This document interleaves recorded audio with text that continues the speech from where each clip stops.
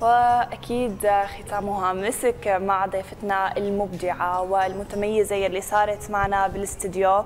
طبعا التميز والإبداع لما بيخلق مع الشخص بده أهل وحدا داعم من الصغار لحتى يطور هي المواهب ويطور هذا التميز لحتى يصير أو يصنع مستقبل حلو لهذا الشخص. ودائما يضل عم يطور من إبداعه ويصير حدا مبدع ومتميز أكثر بالحياة. أكيد كلنا ما وصلنا لأي درجة من حياتنا بدون دعم أهلنا والمحيط يلي موجود حوالينا. اليوم معنا طفلة متميزة حاصلة على المركز الأول بالفصاحه والخطابة.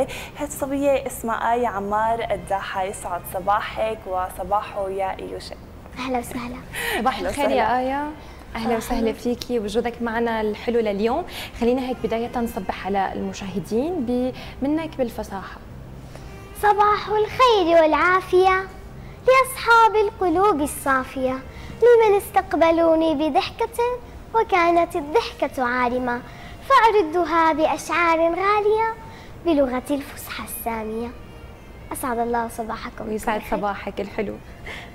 أيا خلينا نحكي عنك بالبداية. أنت إمتى عرفتي إنه عندك هي الموهبة ومين ساعدك هيك؟ أول حدا لقط فيكي هي الموهبة وساعدك لحتى تطوريها أكثر آه بدأت بهذه الموهبة عندما كنت أبلغ من العمر سبع سنوات.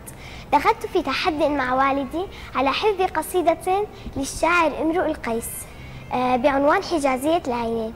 وكانت هذه القصيدة آه طويلة وجميلة. وكسبت التحدي بفضل الله. وبعدما حفظتها آه، اندهش أبي كثيرا وأمي أيضا. وعندها شجعوني وعندها أنا عرفت بأنني لدي موهبة بالفصاحة والخطابة وبإلقاء الشعر. وبعدها بدأت بالبحث عن معلومات في في العربية والفروق والمعاني. و الكثير من الأشياء الجميلة في اللغة العربية. أكيد. آية يعني اليوم الفصاحة والخطابة هي مو سهلة أبدا خصوصا على بنوتة هيك حلوة مثلك اليوم. خلينا نخبر المشاهدين والأطفال اللي بعمرك اليوم آية كيف تعلمت اليوم الفصاحة والخطابة؟ قد بتقري باليوم ولمين بتقرأي خبرينا. آه أنا أول شيء بفضل آه أمي وأبي فهما المشجعان الأولان لي.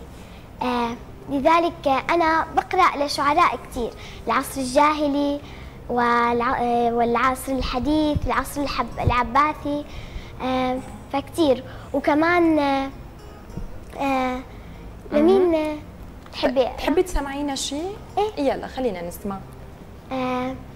بقرأ قصيدة للشاعر امرؤ القيس. يلا. اللي تحداني أبي فيها. طيب. لها مقلة لها مقلة لو أنها نظرت بها إلى راهب قد صام لله وابتهل. أنا رب يوم قد لهوت بذلها إذ ما أبوها ليلة غاب أو غفل. فقالت لأتراب لها قد رميته فكيف به إن مات أو كيف يحتمل؟ أيخفى لنا الليل إن هوى وخل يخفى الهلال إذا أفل فهيه وهيه ثم هيه وهي وهي. منلي من الدنيا من الناس بالجمل. ألا لا ألاء إلا لألائي ولا لا ألاء لألاء لابث ولا لا لألاء من رحل. فكم كم وكم كم ثم كم كم وكم وكم. قطعت الفيافي والمهامها لم أمل. وسلسل وسلسل ثم سلسل وسل وسل وسل دار سلمى والربوع فكم أسل. وشنصل وشنصل ثم شنصل عشنصل على حاجبي سلمى يزيد مع المقل. ما شاء الله عليك يا آية. برافو عليك يا آية. يعني نحن بنعرف إنه مجال الخطابة ومجال الفصاحة ما إنه سهل ابدا وكثير صعب وخصوصا على بنت صغيرة مثلك. اليوم أنت يمكن ما بتستصعبي هالشيء أو بتلاقيه سهل. خلينا نحكي شو الشيء اللي لقيتيه صعب وشو الشيء اللي لقيتيه سهل أو مناسب لعمرك أكثر آه، بالطبع لغتنا العربية هي لغة آه، القرآن الكريم وهي لغة السهل الممتنع التي عندما تقرأها في الوهلة الأولى تظنها سهلة لكنك عندما تغوص في أعماقها تراها صعبة وفي نفس الوقت سهلة. آه، ولذلك آه، كان العصر الجاهلي آه، هو العصر الأكثر غموضا بين أشعاره. فمثلا حين قال الشاعر امرؤ القيس قفا نبكي من ذكرى حبيب ومنزلي بسكت اللوى بين الدخول فحوملي. ففي هذا البيت يدعو أصدقائه للبكاء على ابنة عمه غنيزة التي قد هاجرت بلادها وتركت أثرها باقيا. بسقط اللوى بين الدخول فحوملي هذه أماكن في بلاد محبوبة. تمام. آية أنت حاصلة على المركز الأول بالفصاحة والخطابة. احكي لنا عن شعورك بحصولك على المركز الأول. قد إيه أنت اليوم فخورة بحالك بإنجازك إن كان بين أهلك أو حتى بين رفقاتك وضمن مدرستك؟ إيه هذا الشيء كثير بيشرفني إني أنا حصلت على المركز الأول في فرع دمشق.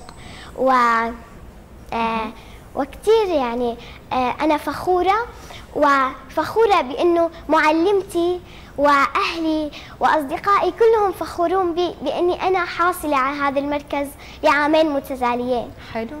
برافو. نحن اليوم طبعا عم قاعدين مع أستاذة. بالفصاحه والخطابه يعني. حاسينك هيك من عمرنا وزميلتنا كمان. منيح. خلينا نحكي آية أو نعرف شو عندك مواهب تانية مخباية؟ عندك شيء تاني غير الفصاحة إيه آم، أنا لما كنت صغيرة كنت لاعبة باليه أو بالأحرى رائصة جمباز. تمام. آه، كنت كنت ب- من ثلاث من عمر ثلاث سنوات حتى السبع سنوات.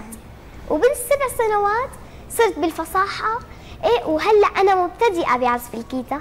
برافو الله يوفقك يا آية. خبرينا شو طموحك بالحياة؟ ولوين حابة توصلي شو حابة تصيري لما تكبري؟ خبرينا تفاصيل. إيه أنا بحب كثير إني أوصل لشيء عالي وحلو.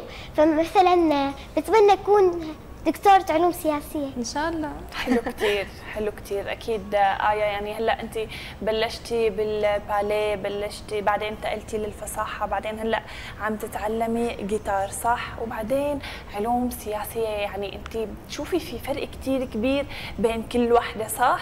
شو السر هون؟ فيكي تفسري لنا هاي الحالة؟ بحب إني أنا أدخل بكل المجالات.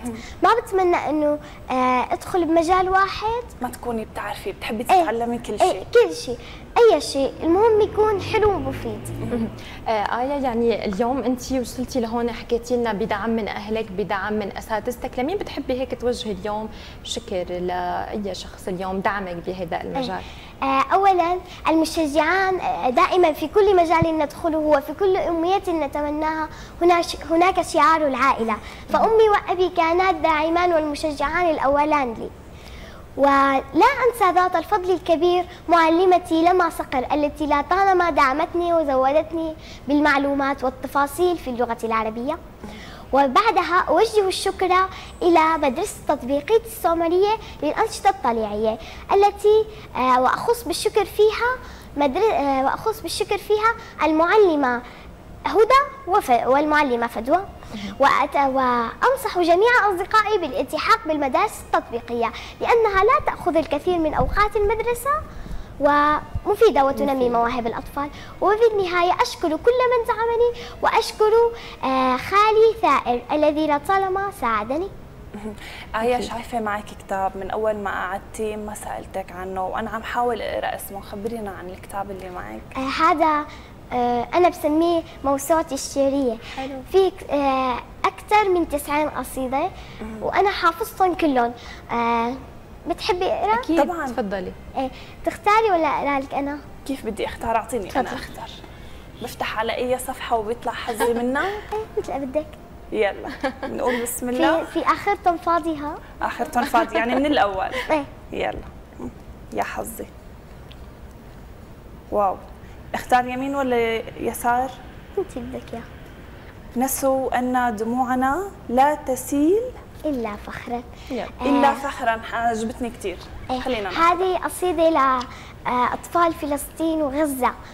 آه، يقول فيها اسمي فلسطين مخلوقة من طين لكن حجارتي من سجيل. لن أروي لك قصتي فرواياتي هي التاريخ. أنا فلسطين أنا الحرب والسلاح والسلام والحجارة.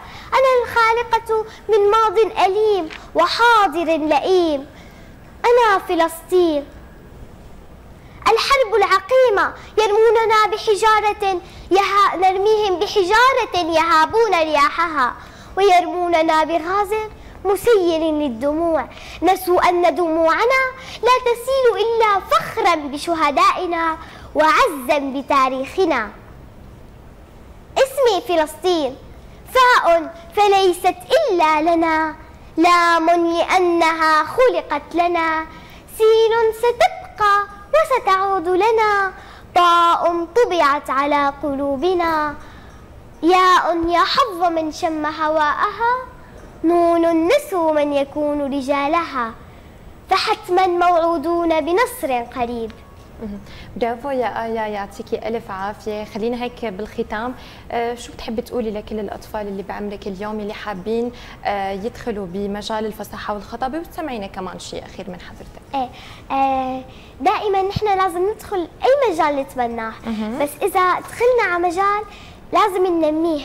فمثلا الفصاحة والخطابة اللي بيحبها لازم يكون عنده موهبة الطلاقة. و والذكاء والإضافة إلى اللغة العربية. أيوه والطلاقة فيها. ولازم يكون صوته حلو مثلك كمان. وبنصح جميع الأطفال بإنه ينموا مواهبهم مهما كانت مواهبهم. المهم ينموها ويطلعوا مثل بدهم. معناها خلينا نسمع شيء أخير منك آية. إيه. آه. نحكي عن سوريا؟ أكيد. إيه. يا سمين الشام هذه قصيدة للشاعر نزار قباني. يقول دمشق عنك تسأل الوطن الجريح عنك يسأل عصافير الشعر والحرية عنك تسأل. بكتك القوافي ودمعة الخنساء لامست وجنة الأخطل. يا من جمعت حب الشام في عقدة من ياسمين كما نسجت حب الشام على مغزل. يا عصفور الشام كيف شغلت نساء الأرض؟ وبقيت دمشق حبك الأول وغسلت من ضفائر الشمس أغنية وقلت وحدك يا شام وسيفك الفيصل. شكرا لك يا آية. كثير كنا مبسوطين اليوم بوجودك معنا لليوم وأكيد إن شاء الله يا رب كل التوفيق والنجاح بحياتك وبأيامك القادمة. توصلي لكل شيء بتتمنيه يا رب وأكيد نبارك لك دائما بالمراكز الأولى. أهلا وسهلا. أهلا. آية بدنا نتمنى لك أنا وكادر الإخبارية وكادر صباحنا غير كل التوفيق وأكيد هلأ المشاهدين كلهم رح يتمنوا لك كل التوفيق وكل النجاح ويشوفوك دائما هيك بكافة الازدهار والتألق والتطور كمان. شكرا لك وإن شاء الله بشوفك أهم دكتورة بالعلوم السياسية. إن شاء الله يا رب. شكرا أهلا وسهلا فيك.